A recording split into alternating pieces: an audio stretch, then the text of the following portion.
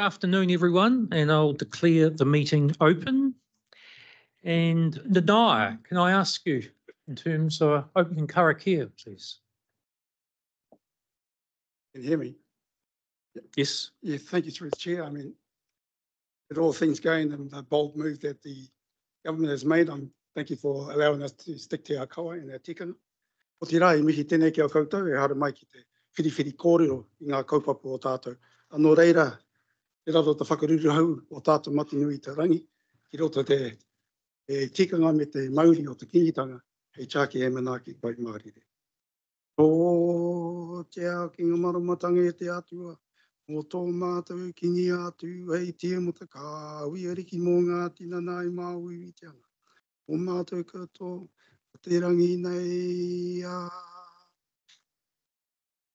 Nā te koro ria Nā te koro roria Nā te koro ria Arire, arire. Pai maare. Kia ora tātou. yeah, kia ora, Nadia. Next item's the health and, okay. Um, we'll take that statement, which is on page four as, as read. There's no resolution required. Apologies. Now, we have some which are on the, I've got apologies from David Spears and at this stage from Rangitar Wilson for lateness, councillor Carolyn and councillor Bruce. Are there any other apologies?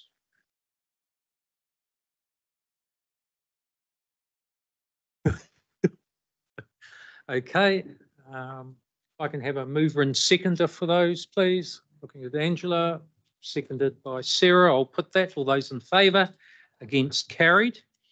Um, just before we'll go to, before the next item, confirmation of agenda, um, I'll just go to Richard Ward, who's with us. And um, if you can just um, introduce um, Vanessa Richardson. Yes, if you can.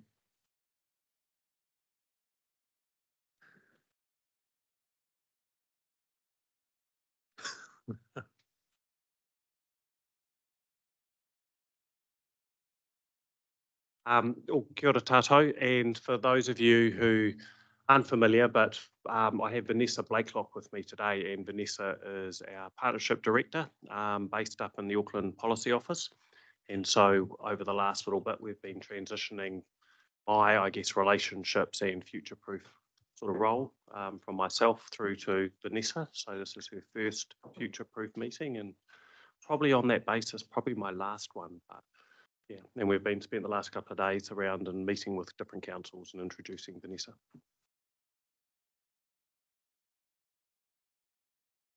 Kia ora koutou.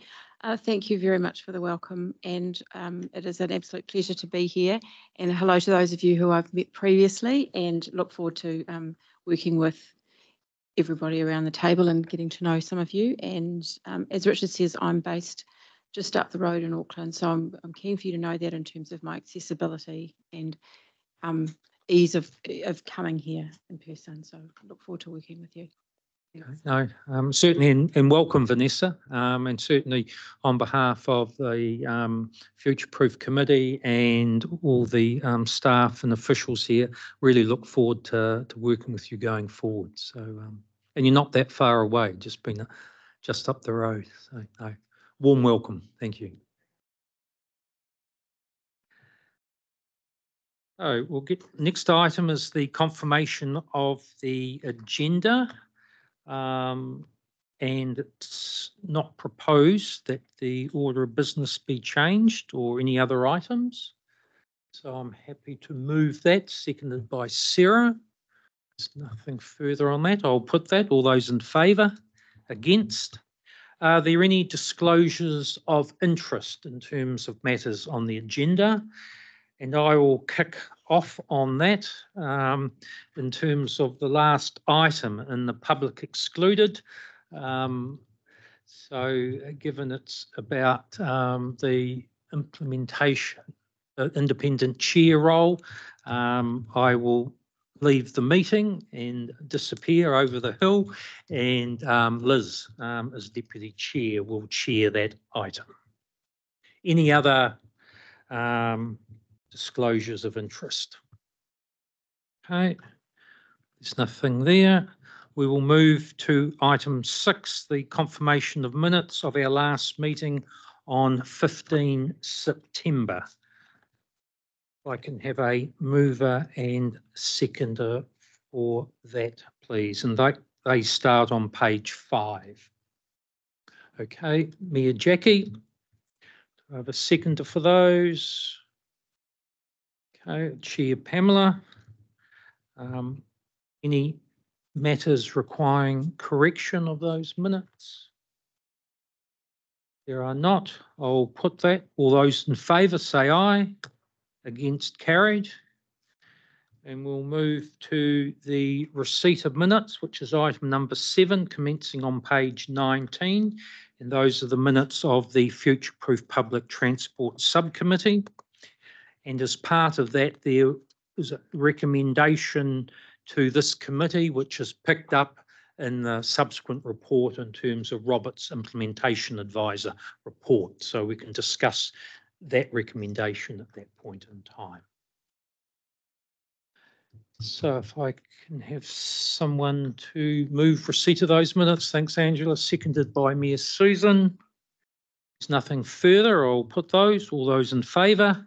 Against carried. Now, item eight, and the implementation of advisors report commencing on page 27. Robert.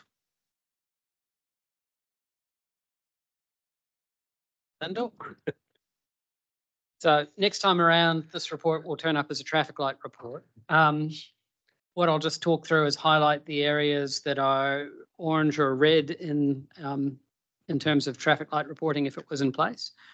So paragraphs three and four cover uh, an area that's uh, working as per plan, which is the rollout of some of the new program management functions within the implementation office. Um, so that just details work that the team have underway and that we'll report to you in due course, so you'll see in changes coming through and how we report.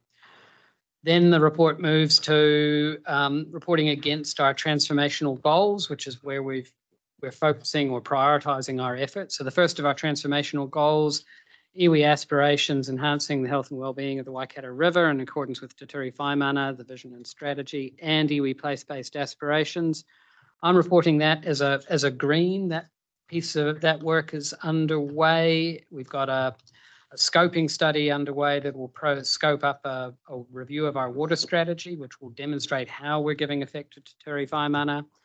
Um, there's an interesting piece of work which Nanaya and Waikato Tainui are working on to improve their GIS databases in terms of rights of first refusal property um, across the sub-region. And in the, if that work gets done as planned, we'll have a much better idea of the implications of our settlement pattern for iwi place-based aspirations. So um, looking forward to that piece of work progressing. Um, the one bit around the water work program that is orange still is the completion of a bunch of technical studies um, that we commissioned a couple of years ago, actually, around um, case studies and different ways that we could manage water within the sub-region. Um, those technical studies are in the final stage of completion. I'd hope to have them completed for this meeting. Um, they will come to your next meeting uh, as studies, and they look at things like what are the cost implications if we were to daylight streams in our urban areas? What are some of the things we can do in terms of achieving a water-wise community and water efficiency in urban areas? How might we use environmental offsetting regimes to restore and protect the Waikato River? That kind of stuff, which all feeds into the water scoping work um, that will also come to your March meeting in terms of scoping that water strategy. The red in our work program is our progress towards achieving that, that what is currently the radical transport shift to a multimodal transport network. Um, whilst the technical officers are doing a lot of good work um, in the background, we are constrained by funding as a consequence of the change in government and our inability to access the um, intended funding for progressing our transport program business cases. Um, so we're looking at Plan B at the moment. The, the team are working with Waka Kotahi about what we can do with the funding we have available to keep progress rolling along. Um, but I have coloured that red. That was a particular item that was discussed at the Future Proof Public Transport Subcommittee.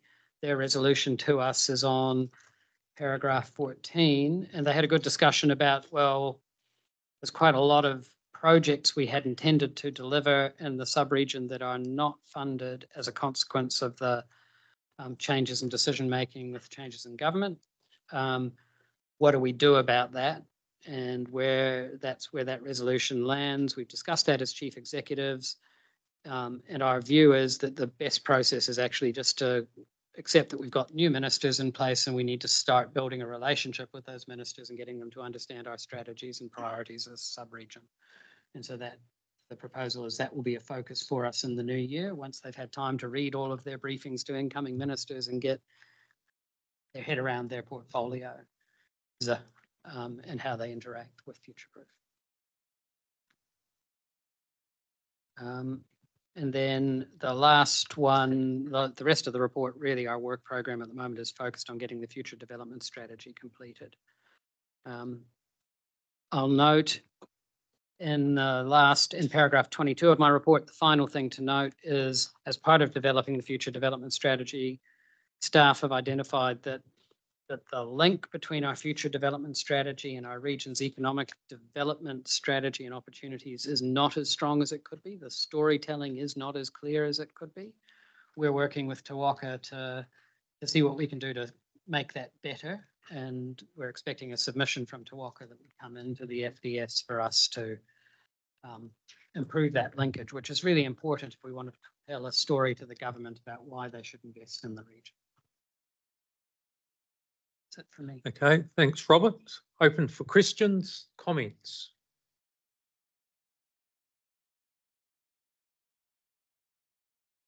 Angela, are you? Um, yeah, thank you, Robert, for the summing up. Yeah, I know that we did have a quite a good discussion at the PT subcommittee about um, the CERF funding being withdrawn prior to a minister giving direction. Um, however, we will move forward. Um, I was just wondering, with the previous government, we did have ministers who had attended and were quite heavily interested in the work that we're doing here, given the importance of our area to New Zealand Inc. I was just wondering where the thinking is at um, to engage with the new government around their attendance um, at Future Proof moving forward.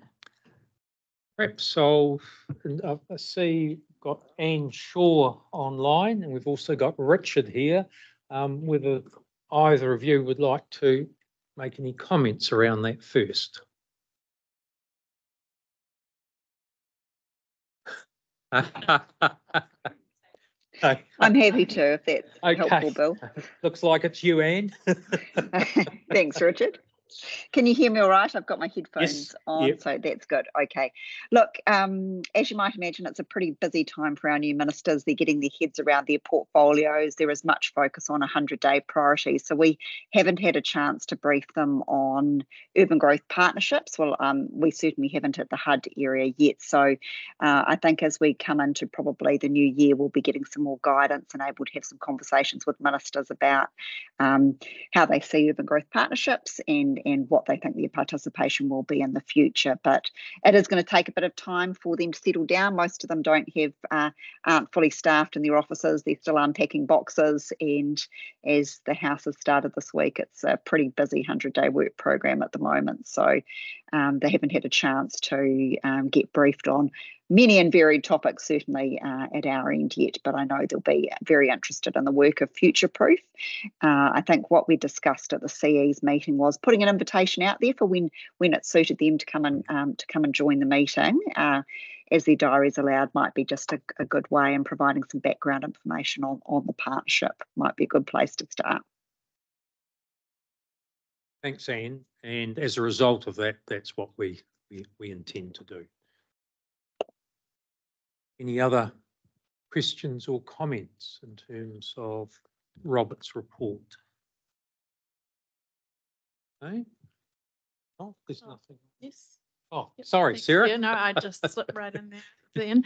Um, just a question, Robert, around, uh, like, we've heard there's a hundred day plan and various things all being unpicked and put back together again in some cases. Um, are there areas where it would be most beneficial for us to put joint submissions or at least aligned submissions with, because we've talked about the need for some joined up messaging? It's a great question. Um, I mean, we have, all we've seen so far are the bullet points in the hundred day plan in terms of what they're working on. So, so that's not a lot for us to Mm. work on in terms of submitting on things. Yeah. The stuff I'm tracking is the conversations about city region deals, which Mm. are not in the hundred day plan, but are really, really important to us in terms of implementation of the strategy. So we'll come to a discussion on that and our approach to that later in the there's one, isn't there? It had to be me later in the day. Um, we're also tracking the, the statements around the future for the NPS freshwater.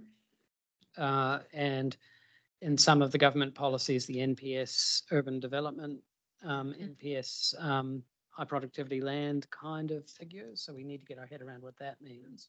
Yeah. Um, but at the moment, it, I, we haven't got enough detail to really work Mm. through what we would do. Mm. It's tracking.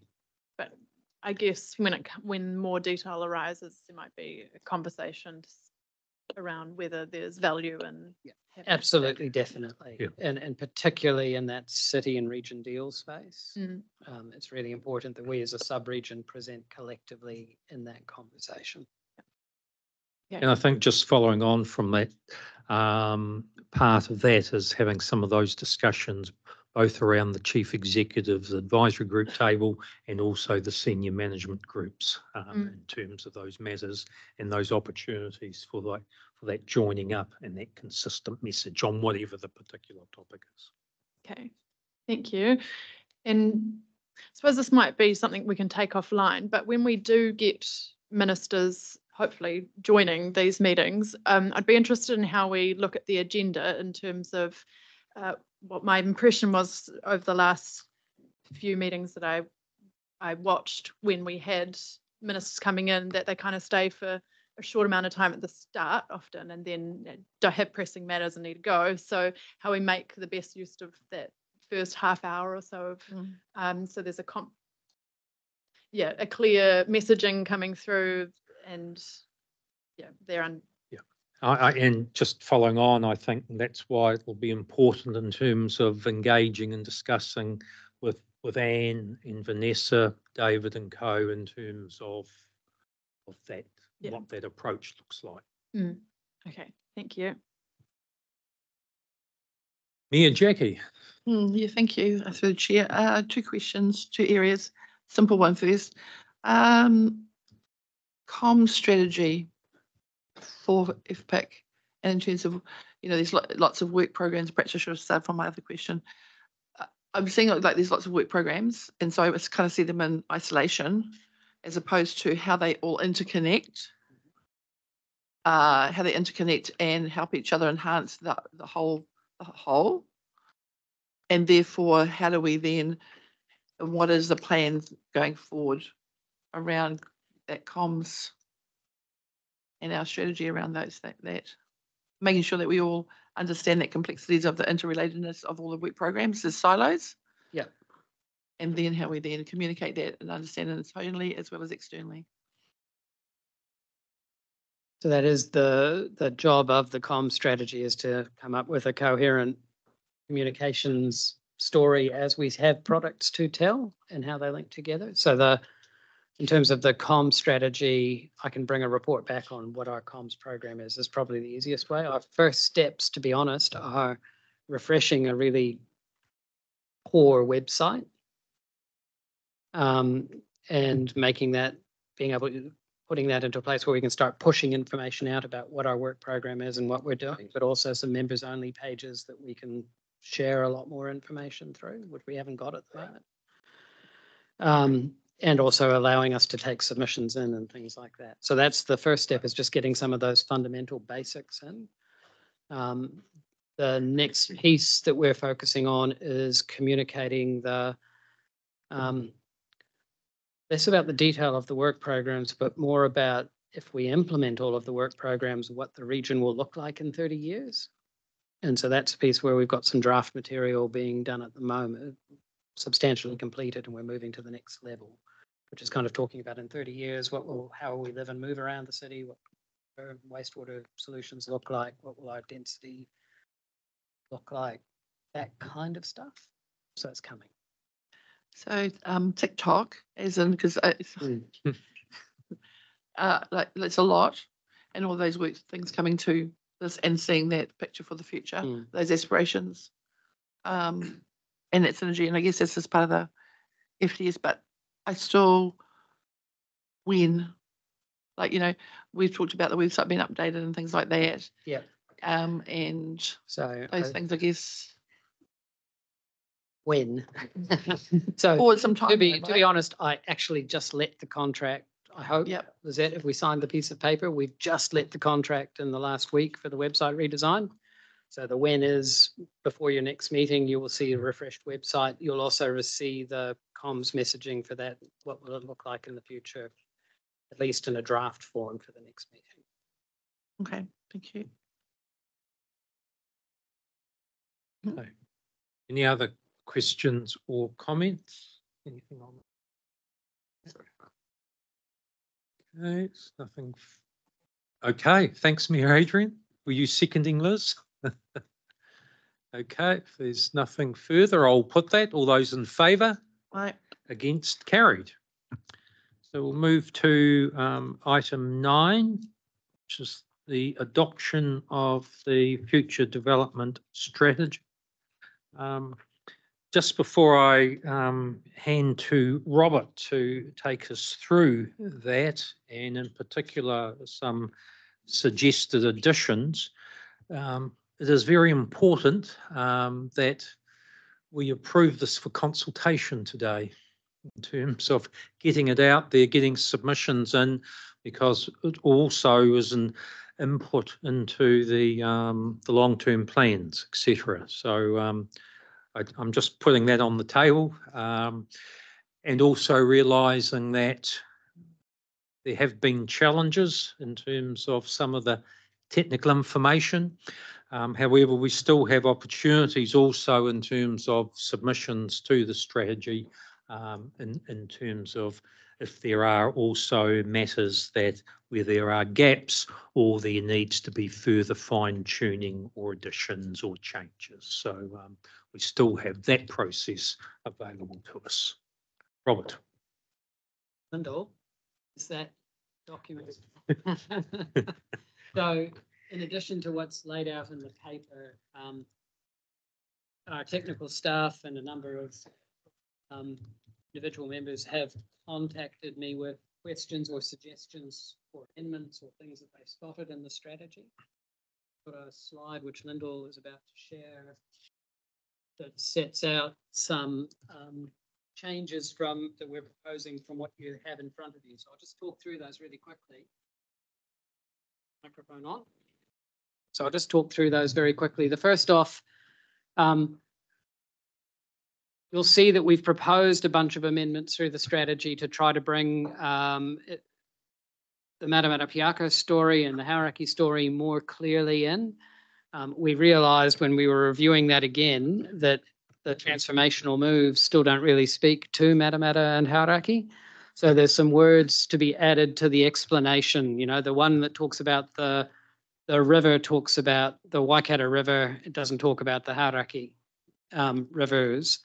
Uh, and likewise, there's no connection or recognition that actually from Matamata, it's halfway between two metro centres, so sometimes Tauranga forms its metro centre, and that kind of speaks to our State Highway 29 conversation. So a little bit of tweaking to happen, less in the move, or not in the moves themselves, but in the paragraphs that sit under the moves outlining what they mean for us, I think.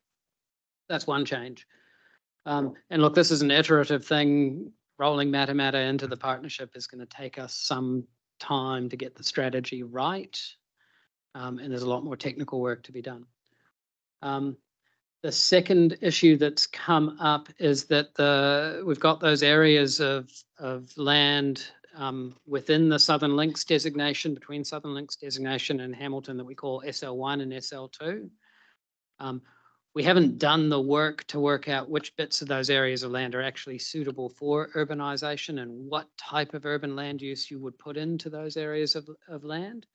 But we do need to recognize that there is a boundary adjustment agreement um, in the strategy between Waipa and Hamilton. Um, so there's some wording that we will need to add in just to recognize that that agreement exists. And it's dependent in part on us determining what is the future urban form and getting ready for development of those, um, those pieces of land. So we'll, we're proposing to add a note that makes that explicit.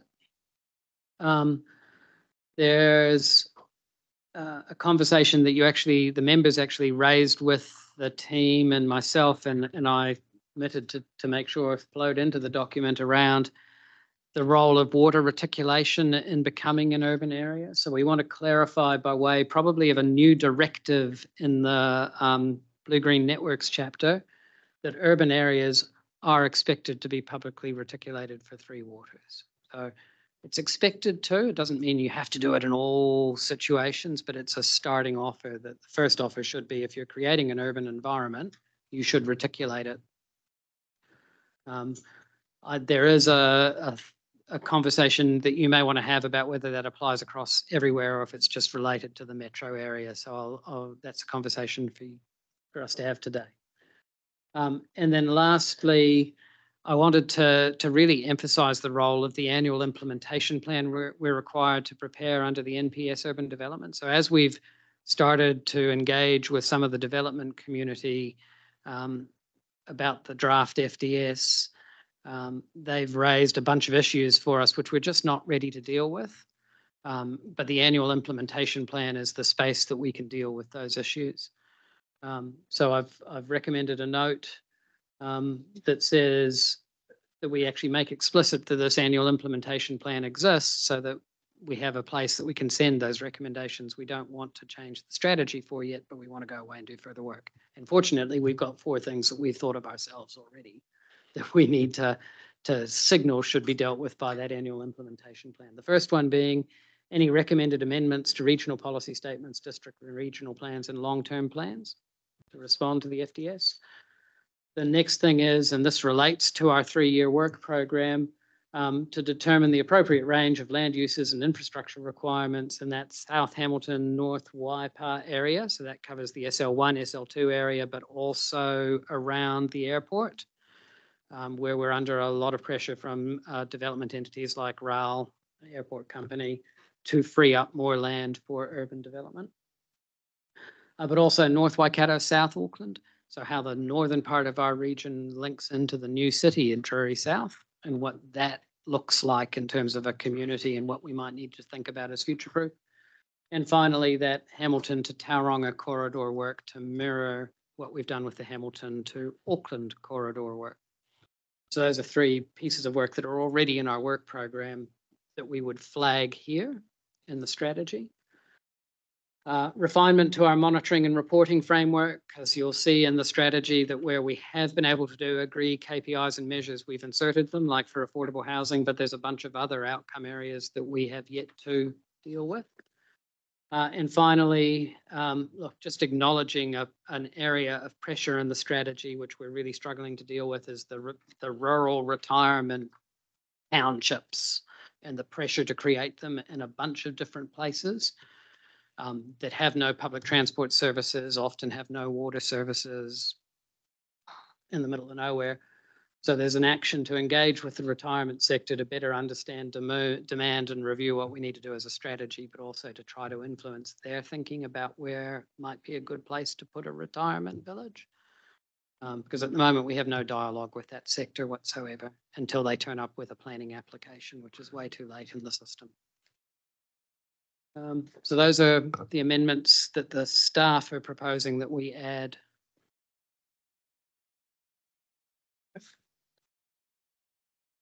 Anything else? That. No, Okay. that's it. Okay, I'll open it up for Miffy. Did you want to add anything?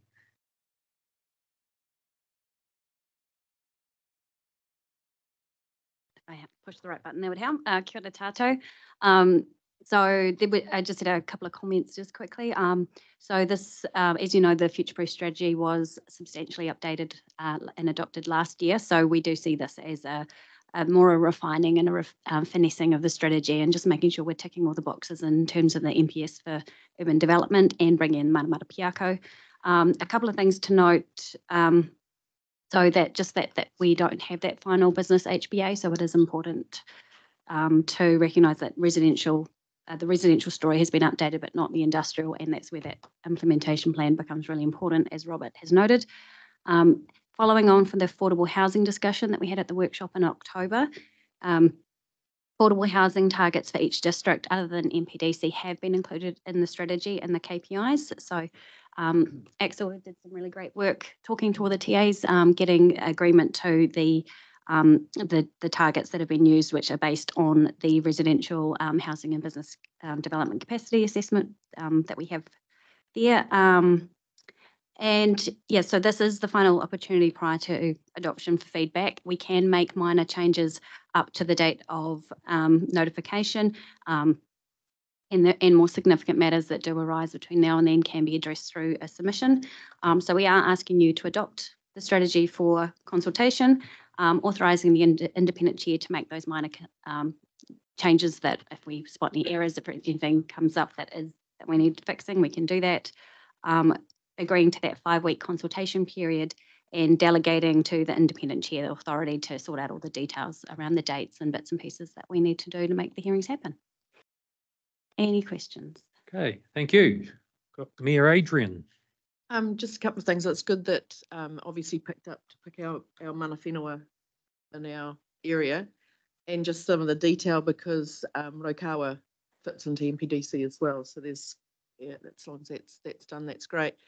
Um, just, I had a question just around, um, on page thirty-four, just the thriving resilient communities and neighbourhoods, and I'm just not sure about the wording. Just it look, because it's been amended and it just sort of looks like it's been added in and doesn't really look like, I'm not, I'm not a great wordsmith, but I don't know that this sort of it sort of doubles up a little bit perhaps, or it's not succinct, but yeah, I just sort of wonder if it's saying the same thing twice in some respects. Just around, Other than wordsmith, can I, can we look at the drafting and yeah, get the chair to, to be my grammar now? yeah, that'd be good, because I don't, yeah, I don't, I, I just sort of feel it's sort of, it, it doesn't run smoothly as a, as a mm. statement, if, if I could be, just give, It's got a lot of stuff flung into it. Yeah, yeah, and it's sort of, I'm sure we can be more succinct or more clear on that, in that, but that's, that's the only feedback I had, other than, thank you for including our mana whenua and our rivers.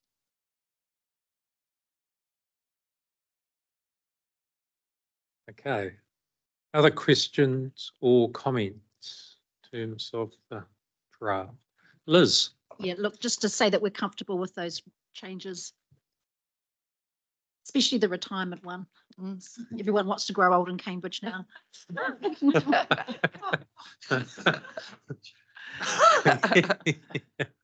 Thank you. Mayor Jackie. District of Champions, I agree, I'm, I'm, I'll put my, I'll put my name down too. Get a payment plan. Hmm. Um, yeah, just, uh, I agree with, it's a good, I, we agree with the changes, that one that just a little bit concerning, it's only probably just a word or two on page forty-six. And also I think it comes up on, in the middle of it, it's, uh, part B, chapter nine, rural areas, number three. If everyone's looking at that page forty-six. And I think it also comes under, yeah, it's nine point three rural growth. So on, it just, it says, uh, it's basically adding text to about limiting rural residential development, which is quite an umbrella statement across all rural and provincial district councils. Uh, we, we limit it is, and it's the highly productive soils and in accordance with the future proof or our Waikato twenty seventy growth plans. Uh, so because obviously we don't want, and we've already planned not to have fragmentation across all rural areas, but to limit residential development as a big umbrella statement, if that's the interpretation of it. So just really wanted clarity around ensuring that we're talking about the right focus. Strategy, hopefully Mithy's looking for the actual strategy. So on the agenda, it's page forty-six. Yeah, I'm just, I'm Yeah, looking on for the the precise strategy. words in the strategy Yeah. and what they say. Yeah.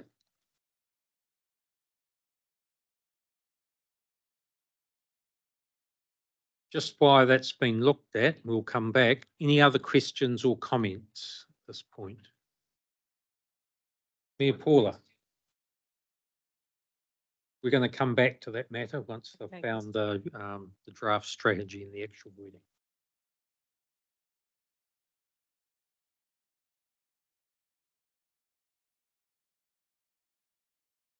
We're, we're largely, largely happy with it. Um,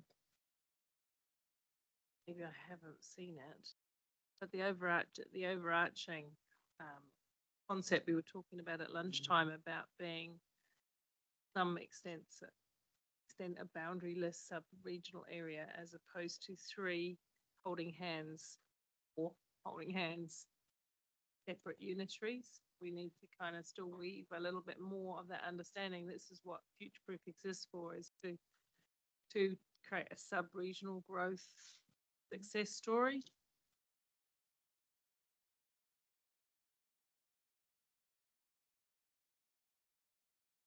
I didn't, I didn't see quite so much preamble in this. Or are we just going to assume that's all? Is- Is there a reference to boundary list? I think there is in the opening. or we- I can check that I we've got a reference to boundaryless planning, particularly in that opening session, section that we're having actually from the whole committee rather than from, I don't think so. from Bill as chair. No, what I'm hearing. The introduction thing, Yeah. because it is a key principle of what we do. Yeah, that, that's right, because Yeah. um, based on what we were discussing at lunch, we all want pa- every part of the region, sub-region that we're talking about to thrive and have their opportunities to thrive. But we're mm-hmm. operating as a sub-regional unit for the purposes of better gain and better outcomes. I just don't think we should forget that, otherwise. We can certainly check on that because it was actually a matter that, that came up with the smart growth hearings earlier mm-hmm. this, this week, Paula, in terms of that commitment.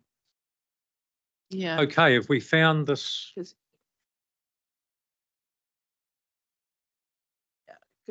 Yeah, so I guess it's on page, yeah, thank you, page eighty-four. So you're taking Okay, so we're looking five. currently at the rural areas. Yeah, nine point six.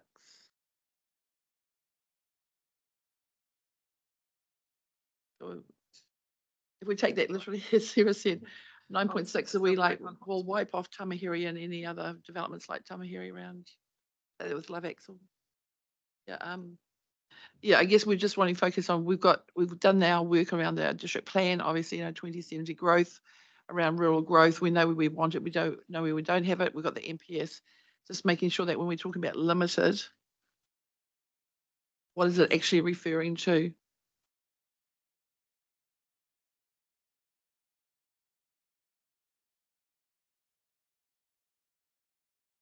to To be honest, the intent of this, this directive, not on plan. No.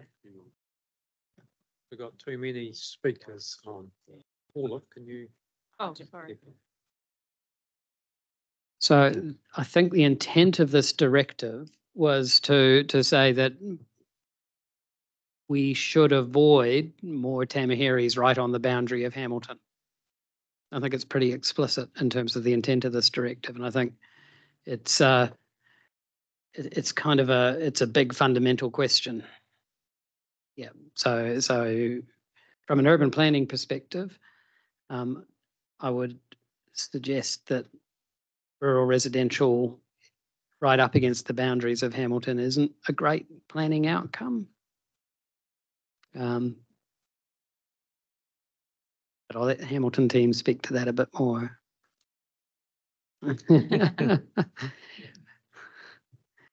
Whether you want to, Blair, or others, yeah, uh, yeah.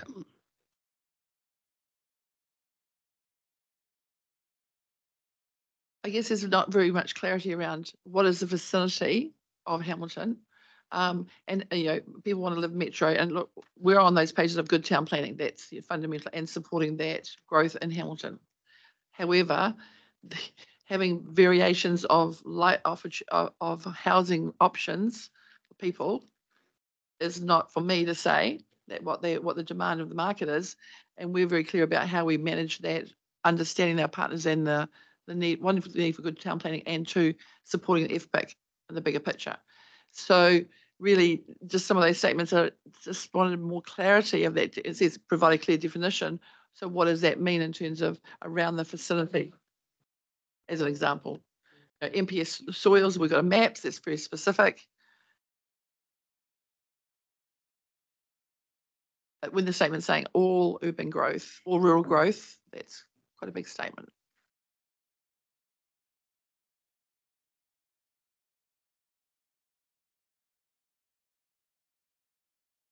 Yes.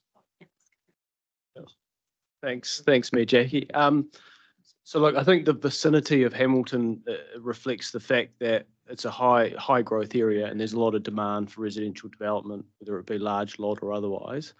Um, and without strict controls, you will get a proliferation of quasi-urban development occurring in the rural zone around Hamilton. Um, and, and for, to Rob's point, that's not an economic, uh, not a good economic outcome, either A, for the primary um, agricultural sector or from a land use planning point of view in terms of the services that those residential um, areas will then be reliant largely on Hamilton for services. So if, if we are going to pursue uh, an expansionary urban development policy, then, then that should be done in an integrated manner, um, should be serviced, um, and it should be planned and coordinated, not on an ad hoc basis.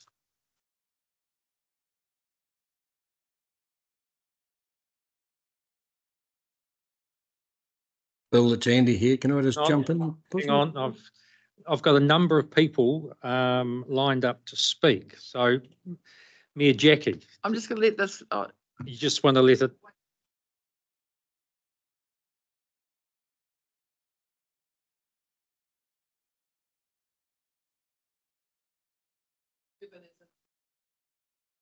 Hmm. okay. I- I'll just stay on this topic for the moment. So in turn, and then I've got, there's Mayor Susan, Angela, then Andy. Were I'm were you, you're fine? Okay, Andy can go before me, okay. because mine's different. Yeah, Andy, did you wanting to comment on this particular matter?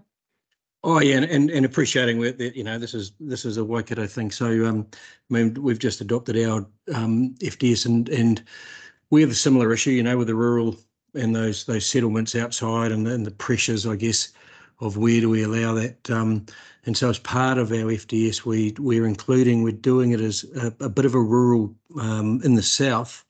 We are including a rural strategy. And so we're actually going to be undertaking a rural strategy. So we actually get a grip on how we deal with the pressures, I guess, of that, that rural demand in the south. So that's, you know, bordering Waikato. So um, it was a, and we poked in the word appropriate. So um, in there.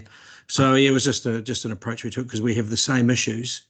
And it's just a mechanism for us to try and deal with it by creating a specialist um, rural strategy within the FDS. Okay, okay. Thanks for that, Andy. Hey, I've got Angela. Yes, um, mine was slightly different. If we've closed that's closed fine. that We'll- one, We may well circle back. Yes. okay. Um, you're just on page twenty-two of the actual draft strategy. Um, yeah, talking about our interregional rail. Um, yeah, just the wording that we've used um, doesn't quite describe we're trying to do there. Um, calling it a daily commuter rail service between Hamilton and Auckland. Um, if we could use the same messaging that we're trying to do about interregional rail connecting Waikato and Auckland. Thank you.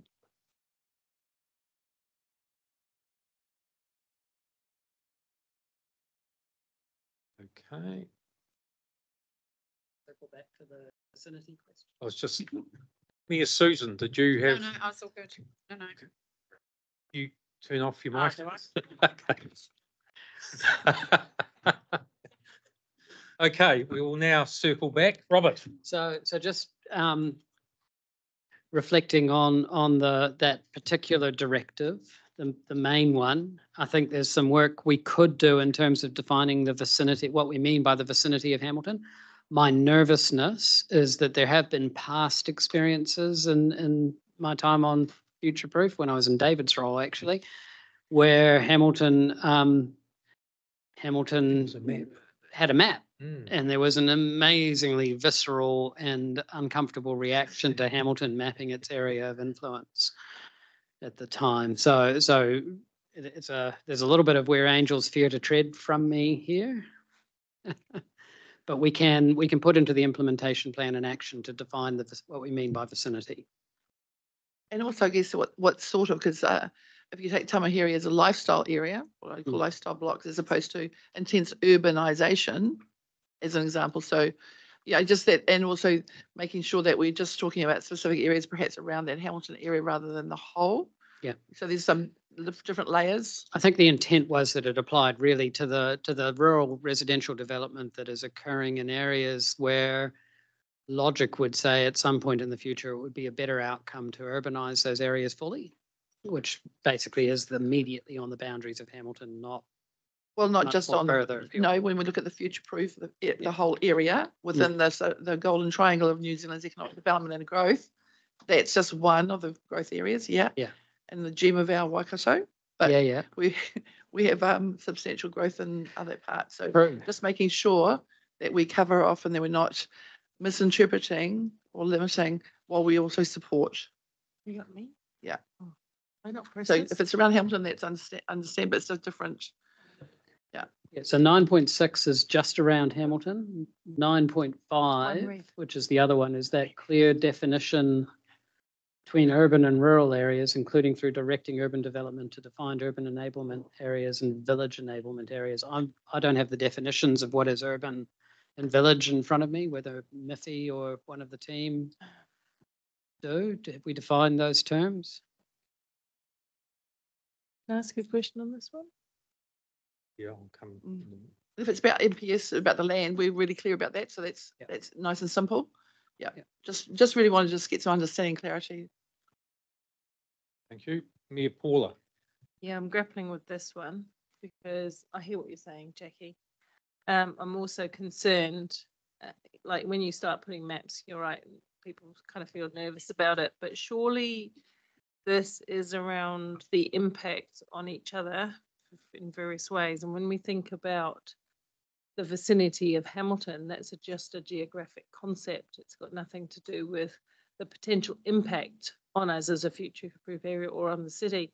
So, for example, uh, rural development is is appropriate in some instances, and in some it won't. And the last thing I think we need to see, if I'm going to be bold and a bit naughty here, last thing we need to see going forward is uh, numerous bespoke water treatment plants or water wastewater plant solutions. Um, notwithstanding, we don't know what Three Waters is going to do that then undermine the economic case for shared water facilities and services, but also that fuzzy area, but that you can have a line on a map, as we do, um, Jackie, between um, your area and ours past the road to Turner School. But, but your um, people come and use the peak and they come and use the library as they should. So there's a whole lot of work I know we're doing about how we can share services better across boundary.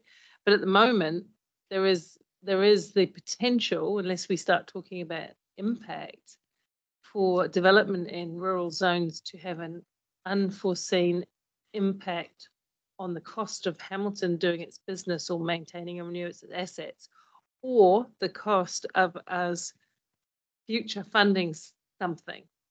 Um, I'm nervous, for example, and I just give an example, um, Southern Wastewater Plant that we've all agreed to buy into. That's, that's based, there's a business cost analysis and benefit analysis for all of us. If we then get, allow, even if we do, our Hamilton City allow developers to come in out of pace and, uh, you know, different sequence, sorry. And they say, that's fine because we'll do a pl- plan change and we'll put a, our own water treatment or our own bespoke solution. Then wouldn't it have a, a negative consequence on the business case of the better solution for us all? So I just don't see in the direct, the directives, but I don't see a comment on managing the impact. And I'm not just thinking of impact just one way on the council, on the sit, on the metro, but the impact on each other.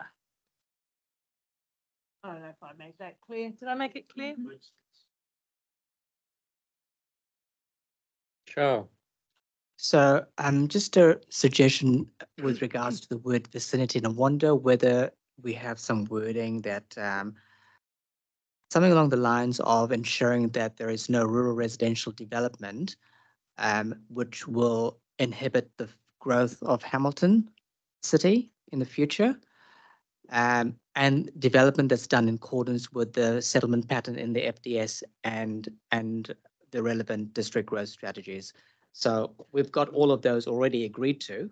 So we're not going to be adding new rural residential areas that goes against, against that. So I guess the concern is that, you know, there'll Well, be that- That new. would be an improvement, I think, through you. That would be an improvement to acknowledge and be explicit about those things. I still feel there's potential, and I can't wordsmith it, and it's for the technical officers to have a go at. But I would like to say, shall we have a conversation about that, how we capture that impact? Because I'm not, I'm not trying to be selfish here and say all growth will come to Hamilton. I'm just saying we have a vested interest in getting this right together. Mm. Um, and we know you can accidentally undermine a business co- uh, cost benefit analysis by doing something or no longer that doesn't stack up now. But we don't want to do that because we haven't got the, to be quite bolshy about it right now, we have not got the money we need for future infrastructure. So we better be really clear where we're going to do it and where we're going to do, it, when we're going to do it and who's contributing to that and what helps that and what undermines that. I just, you know, maybe I'm just feeling that the um, intensity of the financial pressures we're facing and the churn of government, but I really feel quite strongly about that. Okay. Any other comments? Because I'm, um, we might actually allow a wee bit of time for the staff to get picking up um, Bashar's recommendation to get something that we could consider um, as some alternative wording. Yeah. Is there anything else on that matter before we move to any other Yes, matters? I agree with what they, I think it needs just some consideration. That's what we're doing in clarification. And secondly, um, yes, w- supporting things like the Southern wastewater treatment plant, but we also have you know, our own wastewater treatment plants and our own business cases as well within that, that framework and agreements as well. So yeah, it's not about trying to compete for residents or undermining, but we do need to clarify what those intents are, absolutely. Because if we don't do it here before it goes out, then I think it's going to be a lot more complicated and conflicting when we get submissions in. That's all. Okay, But no, yeah, I think it's good that we just have that time that the experts can unpack that a little bit for us. Thank you. Thank you. Sarah? Thanks, Chair. Um, well, I guess relating to, to this issue around rural residential and things, um, as I understand it, there's the issue of, I guess, having large lot residential, for example, on the edge of the city where you might have wanted to expand in twenty years or something. So that's obviously make, is a poor outcome. But we also, does this take into account, um, in any way, the impact of, say, future development form and how that might then impact on, say, our transport system in our metro areas or, you know, towns and cities. So for example, you might be far enough away that it's not somewhere where you're realistically going to expand, but because they're not living in Cambridge, eh, where they might be close to um, a bus that could take them to work in Hamilton, for example, Mm. then they're almost certainly going to have to drive. And so it's, yeah, just wondering, does that take into account uh, impact on networks Um, alongside it? It, it and other bits of the strategy do, and that's Yeah. why we've got that directive that says we don't really want that kind of development occurring on the, whatever you want to call the boundary of Hamilton is. Um. Yeah. So, so I, I'm a, I, I think it's a really important principle, this directive that we do need to stand on. It's something that's been a, a, a sore point in, an attention point in Future Proof ever since it began, be Mm. fair to say. Um, I feel like I need to buy some time to find some wordsmithing and to work with technical people to find a way of, of, um, of refining it if we can to provide more certainty, because I don't think the intent was really to lock down on rural residential everywhere. And I think that's what we were intending with the wording villages up there, was that we acknowledged that villages were things that had a slightly more dispersed pattern, but we didn't want rural residential, certainly around our main urban centres, where we would prefer to grow to urban, urbanize them. Um, so I'd, I'd like some time. When, when you talk about buying time, Robert, Yeah, that's the problem. I haven't got any, have I? w- did you envisage that during the course of today's meeting or going away? And I'd like to, to haul my officials together for at least fifteen minutes just to have a chat. Okay. Yeah, I'm, uh, Because I want to get a resolution to get this thing adopted. I don't, yes, so do I. Yep. David, I'll come back to that. I'm, I'm not going to comment on the issue because I'm not sure it's appropriate for us to, but from a process point of view, it's not something you could just run through and have a mm-hmm. submission from Waikato District that you can then tidy it up later. that's a good way of doing it, actually, David. You're welcome. Yeah, look, I was, I was going to suggest the same thing. I think there are a number of tweaks and things that each individual partner will probably want to um, reflect on after some of the conversations we've had today. And through the deliberation process um, and the consultation process, perhaps we wrap everything up once we hear from our communities as well. Just as a suggestion. Yeah, I- I, I suppose what I was hearing though, in terms of the significance of this directive of actually going out with whatever potential amended wording there is. Um, I'm only here chairing the meeting, so I'll take guidance in terms Yeah. of that. I think, I think the suggestion of a submission is a good one for us to, to buy the time, because hopefully I can get to a place where the officials can agree what the submissions are and we can turn it into a future proof submission. I guess I, I would like to think that there was a more of a discussion at this end of it rather than as, as a submitter into the future proof. Mm. Obviously, we would all want to consider further, but I think some discussion around those words and what it means before this goes out is more, is more important than being a submitter to my own, to our own plan that we're partnering up with. But that's my personal opinion without discussion. So a way forward is that once we complete any further discussion on the F, on any other matters in the FDS, what I propose to do is we'll adjourn the meeting, say fifteen minutes. Mm. We'll let the officials come together. They can have a discussion and then come back and we'll see what that, that then looks like. And then we can decide, um, is that sufficient? Or is it best left then to, and it may be a, a, a future-proof submission as opposed to leaving it to individual partners. So if people were happy with that, Angela, Yeah, just, just before we do break, just had a question on, I suppose, hierarchy of um, documents.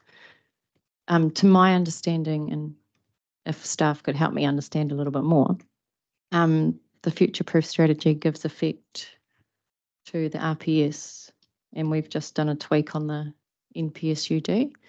So this one is quite closely linked to that one. So how do um, submissions then then work?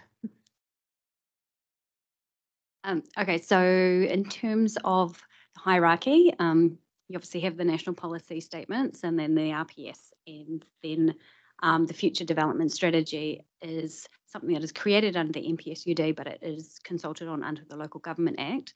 So it is a subservient document. Um, however, it, you are required under the NPSUD, NPSUD to have regard to a future development strategy when you're making your planning decision. So it does have additional weight through that, but obviously the RPS has that higher weight.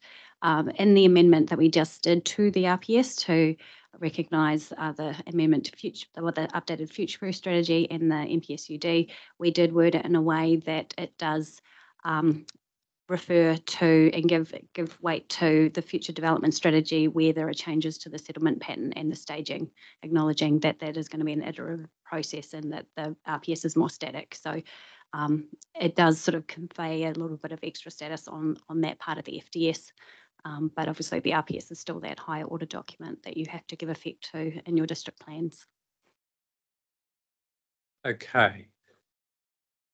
Leah, I've just got a question, if, if we as officials are going to be asked to sort of go away, I'm just, the question around the, you know, looking at nine point six. I'm just a little bit troubled as to the conversation that I, I guess through the FDS, we have a settlement pattern identified. It's, it's well and truly worked through the, uh, lots of maps.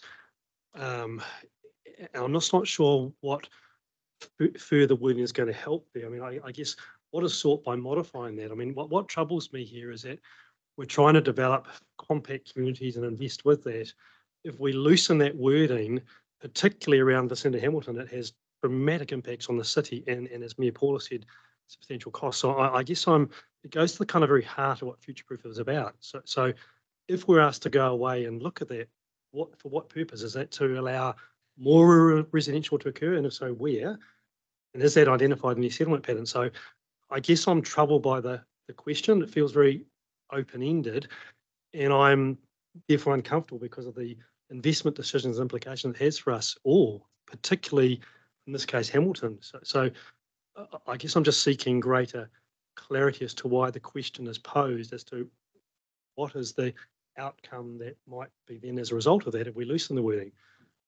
Because um, cer certainly we don't want to see um, uh, more cost as a result of that thrown into the the city environment, which is already struggling to deliver our infrastructure needs and, and costs of an urban environment, and we are under pressure to try and urbanise our city more, struggling with that. So, so I guess that's just sort of a, a question, I guess, me, Jackie, possibly to yourself in terms of raising the, the point to understand what is the outcome you're seeking by modifying that wording.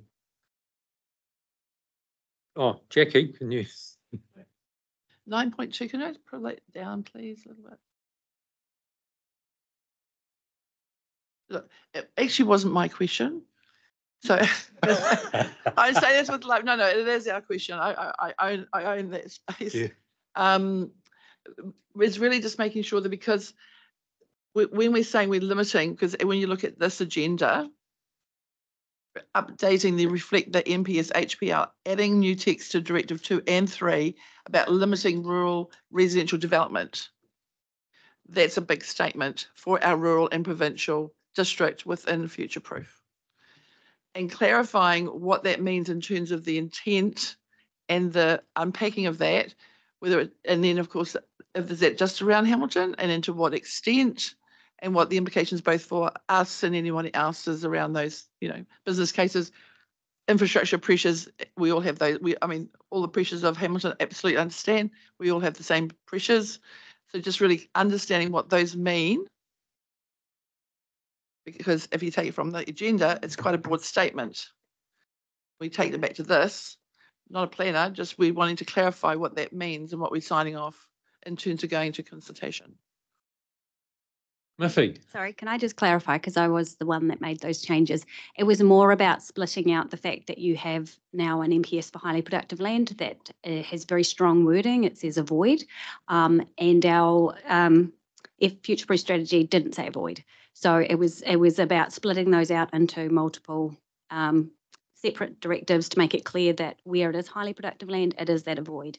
Where it's not highly productive land, then um, nine point three comes in, and that's the one that says that um, where it's not highly productive land, um, it is limited around our existing towns and villages so that you do have that more compact urban footprint. And that goes to um, the, the question about um, people being isolated and car dependent. We don't want to encourage that. Um, it also, so basically all those directives should kind of be read together and also in the context that we do have a growth target for Waikato and Waipa and Matamata Piako that 90% of growth will be in our urban um, enablement and urban and village enablement areas. So we are saying most of the growth will be in those areas that we've already identified. Um, there will be a- a bit of growth in the rural areas, but we're not expecting to see large areas of rural um, residential popping up across the, the rural area or scattered across the rural area. So sort of in context, it all kind of paints the picture of, of where we would see rural residential. Okay, just before I go to me, Adrian, Leah, in terms of you, you, you, you've had a response. In terms from Mayor Adrian, anything to Mine might simplify add it. further? My comment might simplify it. Okay, Mayor If Adrian, just go straight to the document in the terms and, des- and description, rural residential is defined as residential development in rural areas which is predominantly for residential activity and is not ancillary to a rural or agricultural use. It includes countryside living. Is that not the definition that that applies to? When you look at what rural residential is, is that, doesn't that just sort that? Because we all know we've got to avoid it. Matamata's prime, we can't, and we're not planning on any more rural residential. So surely the definition just sorts that out. Without tinkering unnecessarily. thanks, Adrian. No, Yeah, I, I was Sure. just wondering if there, to, um, Mayor Adrian's point, maybe there was not, it's not totally obvious what rural residential means when someone's looking at it mm. here. Um, From a that planning it- I, I presume like a lifestyle block, large lot residential kind of in rural area. No, That's what is. rural residential is a small two and a half thousand square metre mm. section, self-contained. Mm. Lifestyle is several hectares. So there's definite definitions around what we're talking about. So I yeah, let's not overthink it. So just before I go to Mayor Paula, so just having a quick chat with Robert, whether there's some, something more explicit that actually ensures there, that reference back or connection to that definition. Mayor Paula. I'm not unhappy with that, the way that was. I don't think there should be any, use the word weakening of it. I think the definition is helpful. The comments that you made were helpful. But I think at the end of the day, I wouldn't want to see any of these directives watered down. In fact, if anything, I was looking to provide an in- additional cross-reference. I think the definition is one part of that cross-reference, Adrian. And I think the other stuff, well, that you said is another part of the cross-reference. But there's still, if I were going to take it a step further, I still feel we need to recognise um, the spatial, the plan, the planning, spatial planning patterns that we've agreed on good reasons because of the outcomes.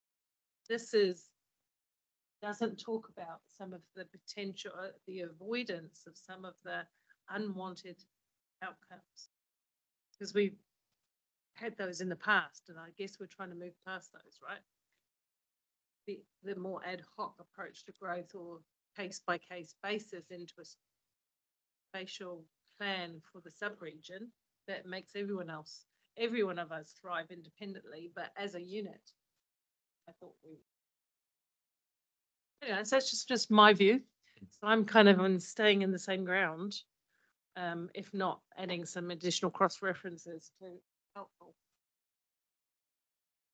Okay. Just look at the staff, if staff have read my brain wave. I guess, Bill, the, the Mayor Jackie's, um, if I can redefine Mayor Jackie, um, the concern is what is the vicinity of Hamilton? Vicinity, vicinity could be Natawai here, Huntly, could go further up because there is sphere of influence that extends, you know, further out.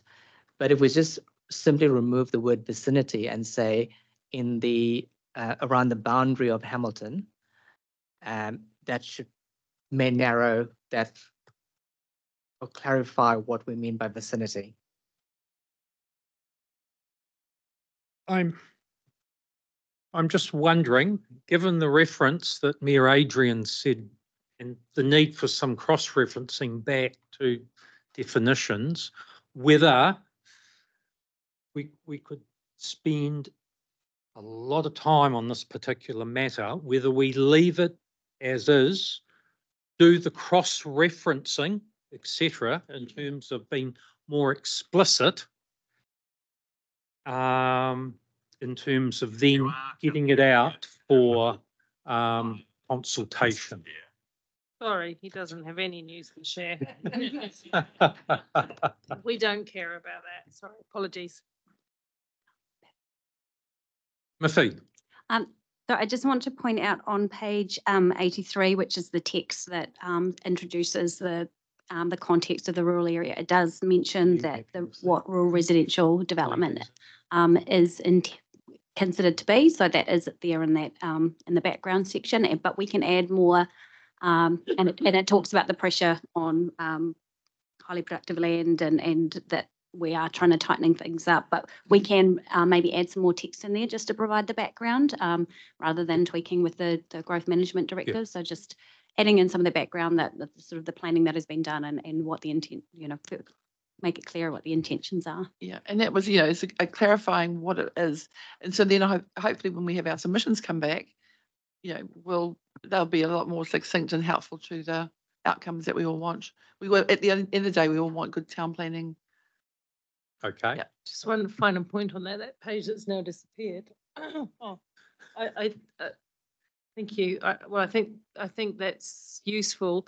Uh, and it talks about the really important values of the rural areas. Um, of course, it still remains silent in terms of the interconnectedness with the metro areas because, uh, people need access to the services the metro areas also supply. So, um, just making sure that that isn't forgotten about. And there again, speaking to that thing of impact, you put something here, you put a gr- group of people living here, okay, that's, that may be what's agreed and agreeable, but it may have an impact on your neighbour. Might be Hamilton, might be someone else. So I think we've got to be fairly explicit about that. And most of the um, rural areas do have local service towns, but they also rely on some services from the metro. Okay, there's nothing further. What I was going to propose to do, I'd, I'd like to um, just spend five minutes with Dave and Robert, given the the thinking and the ideas and the suggestions that have been put on the table, because we have some recommendations. Just need to tweak some of those, given what's been presented. So I was going to, if there is nothing further on any other matters, what I don't want to do is reconvene and we have another discussion in terms of a whole raft of other matters. So this is your last opportunity if there's anything else. No, there are not. Paula, is, hmm. are you another matter or you? No. Okay, Could we have, Chair, sorry, could we have the recommendations emailed that we saw on the screen earlier? Oh, the Yeah, additional additional. changes one. they will come back. That's So why. they're About to be amended. Yes, yes. So, and they will flick up on the screen. That's why I need ten minutes. So what I'm proposing to do then, if there's nothing else, we'll adjourn to three thirty. We will then come back to the recommendations and um, hopefully we can resolve on those and then that will complete the um, public part of the meeting. So we stand adjourned to three thirty. Now. We